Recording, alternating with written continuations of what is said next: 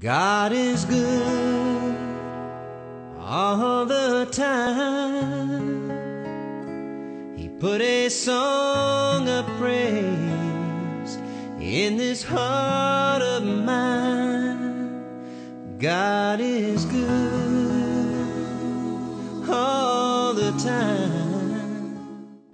It's been 17 years since we started Faith Christian Academy um, through many trials and challenges. We grew one grade at a time, and we now serve 112 students. And um, God's been good. A lot of miraculous things have happened and come our way. We started with a one-room schoolhouse up above a, a, church. We went to another church, and um, then God gave us this land with um, almost five acres. We now currently have two facilities, a beautiful high school, um, a beautiful sports complex that we're building, and the land was donated and the facilities now that we have today. At this school, the teachers truly care about the students, and each one of them are believers in Jesus Christ.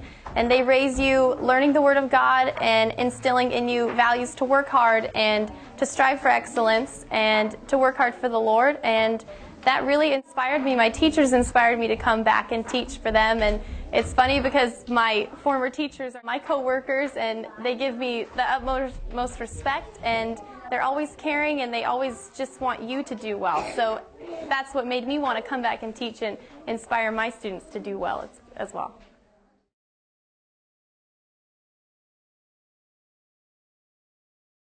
Um, just one thing that I really like is that the teachers really care, and my mom's a teacher, so I see the behind the scenes and that they really they do a lot and they don't get paid for a lot of the stuff they do.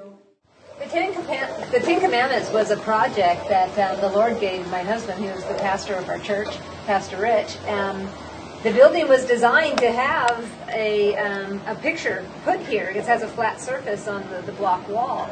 And he was wondering how could he honor God in at the school and that everybody could see. And the Lord just told him, you know, put the Ten Commandments on the wall because they're being taken out of our, our public, um, uh, public buildings everywhere.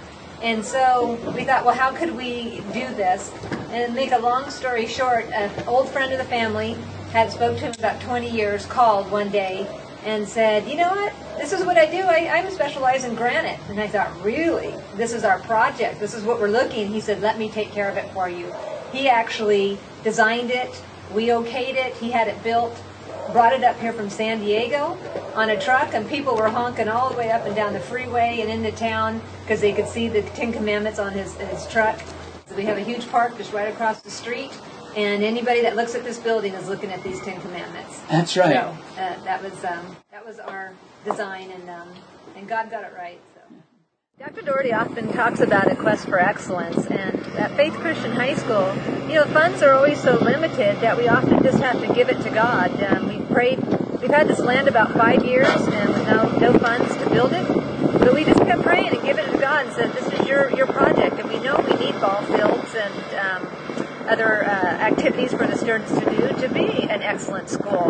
So God brought us West Hills College Heavy Equipment um, class, and they're doing this. They're learning and, and um, getting credit for it, but yet we're getting a beautiful ball field, and it's all due to the Lord.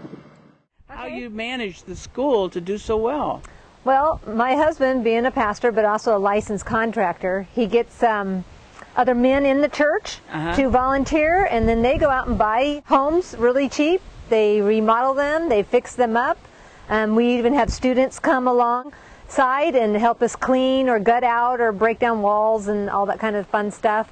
And um, when the house is sold, that money goes right back into our school to help fund projects, also to help with tuition assistance and scholarships and um, equipment and uh, just maintaining our facilities. Just an example of how God's doing great works in a small school and how your vision for a quest for excellence, mm-hmm. I call it a quest for excellence, yes, um, is just really alive and well here at um, Faith Christian Academy in Coalinga. Absolutely, yeah, God's good. Yeah, yeah, all the time. All the time, and through the darkest night, His light will shine.